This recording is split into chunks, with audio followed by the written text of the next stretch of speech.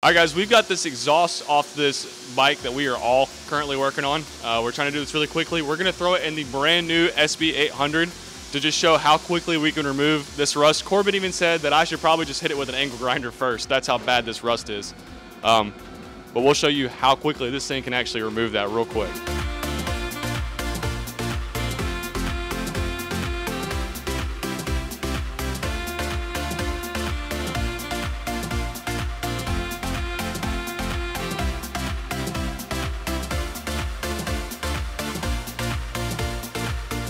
So you guys can see how quickly in real time this thing can actually remove rust. This part would probably take you 10 minutes at this rate. I mean, it, it, does not take long at all.